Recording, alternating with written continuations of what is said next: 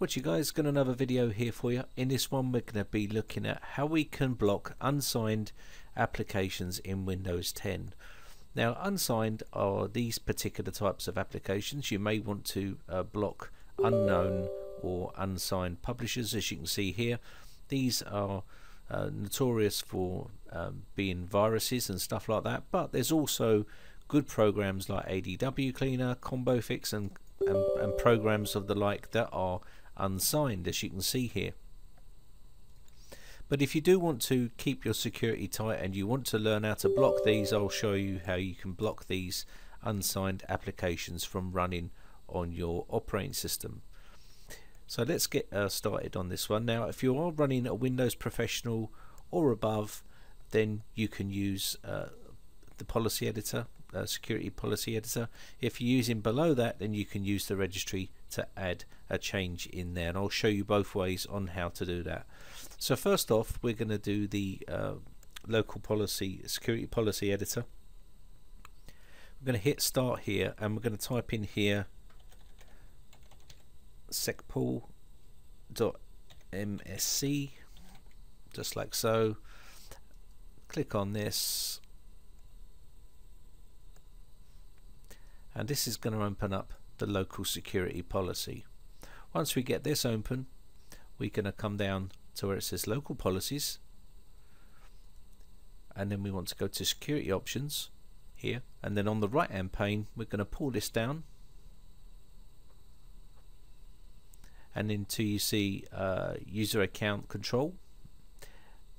And as you can see here there's one here called user account control only elevate executables that are signed or validated and you can see it's been disabled. Now if we enable this like so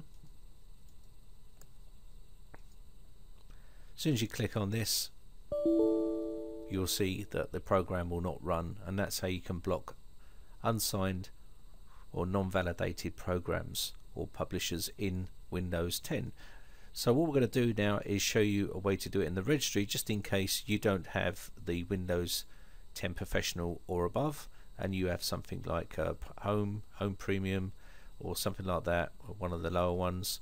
So we're just going to quickly reverse this cycle like so. And you see that should now start to run. So now I'll show you the registry way. Go to the start button here and click on reg edit. Open up the registry editor and uh, we want to go here to HKey local machine. And then you want to come down to where it says software. And then Microsoft. Then Windows. And come down to where it says Windows here. Then current version. Once you're in current version, you'll go down to policies. So we're going to come all the way down to where it says policies here.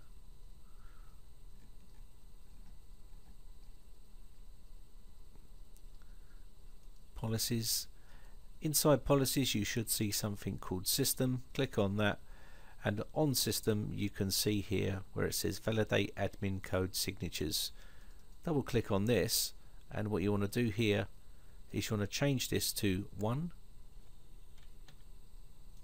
click OK and now when you try to run these programs you'll get the same outcome you will not be able to run any unknown publisher or unsigned uh, program okay now obviously that causes a problem with programs like these that you may want to run uh, but it's also a benefit to people that don't know what they're doing and download programs off the internet that are unsigned or unknown and what will happen is you'll end up getting infected. But that's basically how you can do that. To reverse the cycle, you just need to put zero back in there and click OK. Anyway, so I hope this one helps you out. My name is Brian from briteccomputers.co.uk. If you enjoy these videos guys then hit that like button. Also hit the subscribe button if you want to keep up to date when I upload new videos. If you've got any problems with computers or any questions or anything like that or video requests uh, you can then post them on my forum. The information is on the screen right now. If you haven't been over to my Facebook fan page, you can give us a like over there. It doesn't cost you anything, and uh, give us a little like over there. Anyway, have a great weekend, guys, and I shall see you again in the next video. Thanks again. Bye for now.